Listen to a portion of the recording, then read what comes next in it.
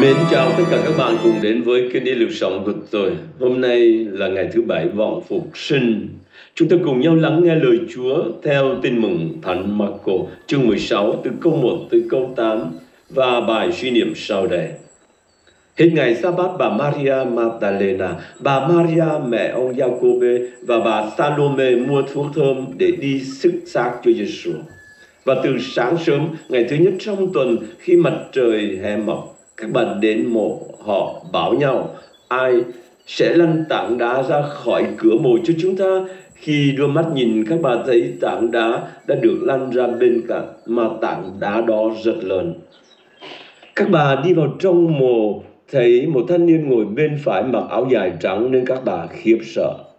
Nhưng người đó bảo các bà rằng, các ngươi đừng sợ. Các bà đi tìm Chúa Giêsu Nazareth chịu đóng đinh nhưng người đã sống lại không còn ở đây nữa. Đây là chỗ người ta đã đặt người. Các bà hãy đi nói với các môn đệ người, nhất là với Phêrô rằng ở đó các ông sẽ thấy người như người đã từng nói trước. Nhưng các bà chạy ra khỏi mộ trốn đi, run rẩy kinh hồn chẳng dám nói gì với ai vì sợ hãi. Các bạn thân mến, 40 ngày của mùa chay thành, thời gian chuẩn bị cho lễ phục sinh đã trôi qua. Giờ đây là những giây phút mừng rỡ hân hoan vì Chúa Kitô đã sống lại từ cõi chết. Và chúng ta cũng hân hoan vì như lời Kinh Thánh đã nói cho chúng ta, những ai cùng chết với Ngài thì cũng sẽ được sống lại với Ngài. Các sách tin mừng đã kể lại cho chúng ta rằng sau ngày thứ bảy vào tảng sáng ngày thứ nhất trong tuần bà Maria Magdalena và một bà Maria khác đến viếng mộ Chúa Giêsu. Nhưng đã xảy ra một trận động đất lớn. Một thiên thần Chúa từ trời xuống đến gần tấm đá lấp cửa mộ, vần tấm đá sang một bên và ngồi lên trên. Hình dạng thiên thần giống như ánh chớp và áo ngài trắng như tuyết Quân căn run rẩy và té xỉu vì khiếp sợ. Thiên thần nói với các bà đương sợ, ta biết các bà đến tìm Đức Giêsu đứng đã bị đóng đinh, Ngài không ở đây. Ngài đã sống lại như lời Ngài đã báo trước. Hãy đến và nhìn xem nơi Ngài đã nằm. Thôi, hãy mau mau chạy đi báo tin cho các môn đệ Ngài biết là Ngài đã sống lại rồi và đi trước anh em đến Galilea. Thưa các bạn, mỗi năm khi mừng lễ phục sinh chúng ta được mời gọi đến chiêm ngưỡng tình thương của Thiên Chúa dành cho chúng ta và đồng thời chúng ta cũng sẽ đón nhận sức mạnh của Đức Kitô để phá vỡ những hòn đá chôn vùi cuộc đời mình. Để thực sự sống lại với Đức Kitô trong ngày hôm nay, chúng ta hãy tìm những giây phút yên lặng để suy trừ để tìm xem những hòn đá nào cần phải lăn đi. Như thiếu bác ái, như lười biếng, như kiêu căng giận hờn, ghen tương và vân vân. Để rồi cùng với Đức Kitô, chúng ta hãy ném những viên đá đó ra khỏi cuộc đời của chúng ta. Hầu để chúng ta tận hưởng được niềm vui phục sinh trọn vẹn hơn. Và đồng thời, chúng ta cũng được mời gọi hãy mau mau ra đi loan báo tin mừng đó đến cho tất cả mọi người bằng chính cuộc sống chúng ta yêu thương của chúng ta như lời Chúa đã chỉ dẫn. Có lẽ các bạn cũng còn nhớ tới cuốn phim mang tựa đề Thế giới trong tầm tối. Cuốn phim này diễn tả câu chuyện một nhà khảo cổ danh tiếng tổ chức cuộc khai quật khoa học ở Jerusalem. Ngọn đồi Calvario được cẩn thận đào bới, kể cả những phiến đá và hang động của một nghĩa trang bên cạnh cũng được thăm dò, khám phá kỹ lưỡng vì theo phúc âm Thánh Gioan, xác của Chúa Giêsu được chôn cất trong một phần mộ gần nơi Ngài bị xử án tử hình thập tử. Sau bao công khó đào xới, khám sát một ngày kia nhà khảo cổ tuyên bố tôi đã tìm được xác ông Giêsu và ông tổ chức một cuộc họp báo rầm rộ với nhiều phóng viên và nhiếp ảnh viên, để trình bày thành quả mỹ mãn của bao ngày tháng đào sới, khảo cứu vất vả. Ông đã trưng dẫn trước mắt mọi người một xác đã khô đẹp nhưng còn có thể nhận ra chân tay của xác này bị đâm thủng, cạn sườn, bị đâm thầu có cả những dấu chứng tỏ thân xác này bị nhuộm máu qua những tấm khăn cuốn điểm sao.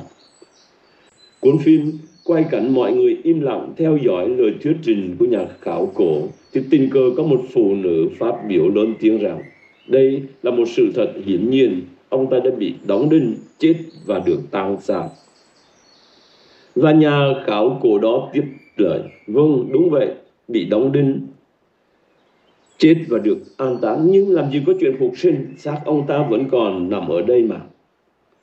Tiếp đến, cuốn phim diễn tả hậu quả của cuộc tìm được xác ông Giêsu của nhà khảo cổ này. Không ai còn mừng lễ phục sinh nữa. Một vị linh mục tắt ngọn đèn trâu, kết mình thánh chúa và đóng cửa nguyện đường, chuông các nhà thờ, im tiếng, các nữ tu cởi khăn trùm đầu, thánh giá tại nhiều nơi bị hạ xuống. Đèn bên những ngôi mộ bị dập tắt, thế giới chìm đắm trong màn đêm u tối dày đặc. Cuốn phim kết thúc bằng cảnh chính nhà khảo cổ đang hấp hồi. Trước khi trút hơi thở cuối cùng, ông đã tự thú nhận, tôi đã đánh lừa thế giới. Chính tôi đã làm xác giả của ông Giêsu và bí mật đặt vào trong mộ mấy năm trước khi tôi khởi sự cuộc đào bới tìm xác ngài. Sau lời tuyên bố đó là cảnh hàng ngàn người tuôn đến mộ thánh ở Jerusalem, như chúng ta từng chứng kiến hàng năm trong tuần thánh. Những ngọn nến được thắp lên và những tín hữu đã mang những ngọn nến được thắp sáng, ngọn nến của niềm hy vọng. Sau lời tuyên bố đó là cảnh hàng ngàn người tuôn đến mộ thánh Jerusalem, như chúng ta từng chứng kiến hàng năm trong tuần thánh. Những ngọn nến được thắp lên và những tín hữu đã mang những ngọn nến được thắp sáng, ngọn nến của niềm hy vọng đi khắp nơi để soi sáng những con đường tăm tối. Chuông các nhà thờ ngân vang như báo tin Chúa đã phục sinh, tình yêu mạnh hơn hận thù, sự sống mạnh hơn cái chết. Cuộc phục sinh của Chúa Kitô thưa các bạn không chỉ liên hệ đến cuộc đời của Ngài nhưng nó cũng ảnh hưởng trực tiếp đến vận mệnh của toàn thể nhân loại cũng như ảnh hưởng mật thiết đến cuộc sống, đến lòng tin và niềm hy vọng của chúng ta. Cái chết không phải là chung cục của cuộc sống con người mà chỉ là việc bước vào sự sống đích thực. Mỗi một người trong chúng ta đã được sinh ra trên trái đất chính là để bước vào sự sống đích thực đó và đó cũng chính là niềm tin của chúng ta.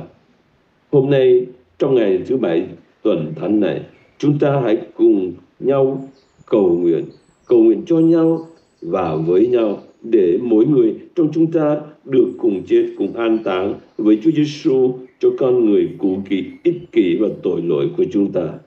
Chết thật sự để chúng ta cùng được sống lại với Chúa Giêsu trong một con người hoàn toàn mới, con người phục sinh. Hallelujah, Hallelujah, Hallelujah. Chào tất cả các bạn và hẹn gặp lại tất cả các bạn.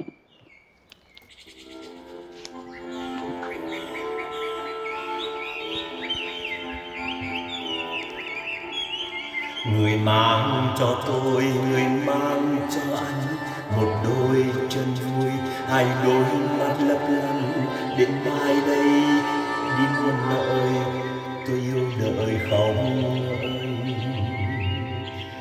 Một bên em xưa khiêm tốn nhỏ bé một Giêsu này tặng cho nhân tình yêu bao la, không nói hết Hallelujah.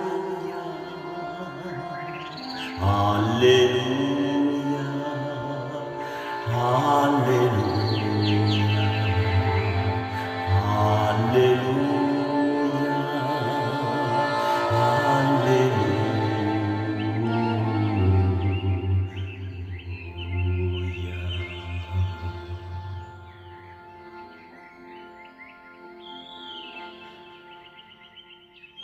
Chiều xưa bên sông trời sắp nắng tắt, ngàn dân lo toan vì họ sắp đói thắt.